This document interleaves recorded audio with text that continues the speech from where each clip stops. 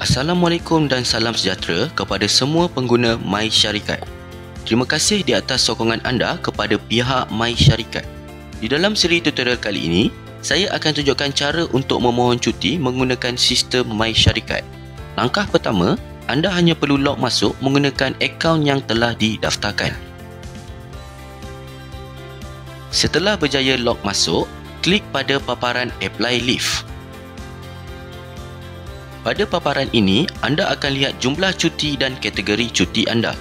Masukkan maklumat yang diminta seperti tarikh mula cuti, tarikh tamat cuti, jumlah bilangan cuti, kategori cuti, klik butang OK untuk pengesahan kategori cuti dan masukkan surat bukti jika perlu.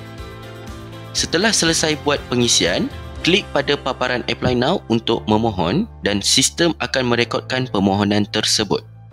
Itu sahaja untuk tutorial kali ini. Sekiranya ada sebarang pertanyaan, anda boleh terus berhubung dengan tim kami. Jumpa lagi di sesi tutorial akan datang.